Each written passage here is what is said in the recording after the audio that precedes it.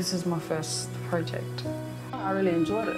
I learned a few little tricks there with the lighting, and it's good to see it, like the progress. One, two, three.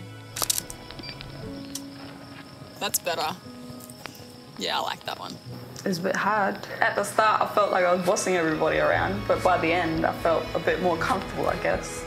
So I felt out of place, just, you know, saying stand here, stand there. But they, yeah, they were good, they listened. You know, all that stuff's important, all the little details that you don't worry about in a normal, like, camera photo. And then the more details after, when you got to edit. But then the picture comes out totally different to the one that you took. It was exciting. After learning a bit more and working with the cameras and lighting a bit more, the second one was a bit easier.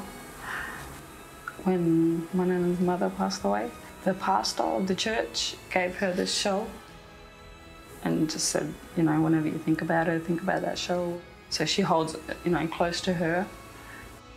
Lucky she gave me, trusted me with it. Just gonna put it on her grave one day. Yeah. Ceduna in the background makes the picture, I think, because this is where we're from. To have that memory, and it's really good because it's on our community, I guess, homeland. Even just moving away for a little bit, you still come home, but it still draws you back. If the oil rig did happen and something bad happened, and we'd probably be forced to move. And I just don't know where else we could go.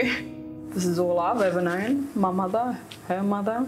Without connection, I guess you feel lost. No place of belonging.